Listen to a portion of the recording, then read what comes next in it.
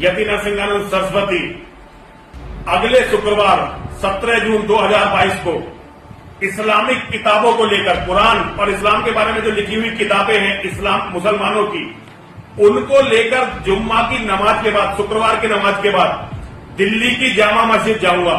क्योंकि उस दिन वहाँ पर बहुत बड़े बड़े मौलाना, आलिम, फाजिल लोग आए होते हैं। लाखों लोग नमाज़ के लिए जामा मस्जिद में इकट्ठे होते हैं।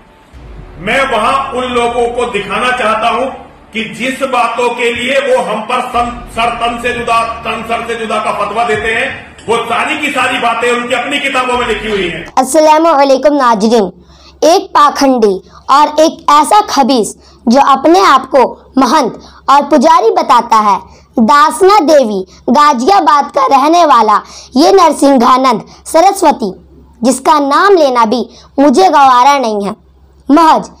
यहाँ पर उसकी चुनौती को मैं जवाब देने के लिए नाम ले रही हूँ।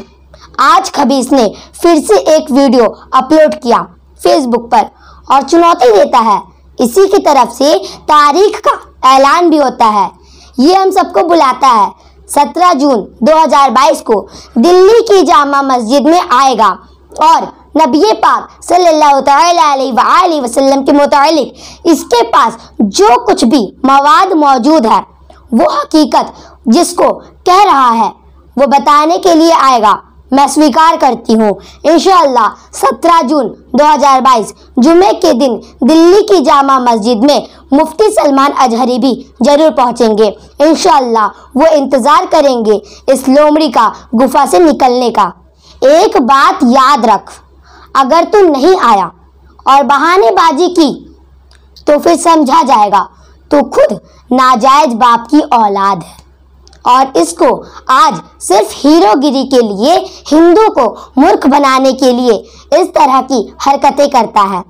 उस खबीस के बच्चे को मैं कहती हूँ बार बार अगर तूने नबी पाक सल्लल्लाहु वसल्लम की शान में गुस्ताखी की तो अब मुसलमान खामोश नहीं रहेंगे।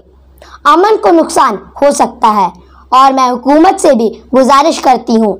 इस जालिम के गले में तुमने पट्टा नहीं डाला तो हिंदुस्तान का माहौल बिगड़ जाएगा। और अगर 17 जून तक ये बाहर रहा और आने की जशारत करता रहा तो मुफ्ती सलमान अजहरी भी ज़रूर वहाँ पहुँचेंगे। और दुनिया को ये दिखाया जाएगा, किसकी ज़्यादा इज़्ज़त है। मेरे नबी की इज़्ज़त ना कम कभी हुई, ना होगी। रहेगा यूँ ही उनका चर्चा रहेगा, पर ये खाक हो जाए जल जाने वाले। लिहाजा मैं यहाँ तमाम लोगों से कहती हूँ, आप मुझे हिंदुस्तान वाले, बाहर वाले सब सुन रहे हैं, सब देख रहे हैं। तो सुने, इस खबीस के बच्चे ने कहा, ये दिल्ली की जामा मस्जिद 2022 17 जून को जुमा के दिन आने वाला है, हम भी देखते हैं। ये आता है या नहीं आता? जो ऐतराज तुझे तेरे बाप यहूदियों से मिली है, ईसाइयों से मिली है, और जो बाहर मुल्कों से ऐतराज मेरे नबी की शान में मिली हुई है, वो सब हमें पता है।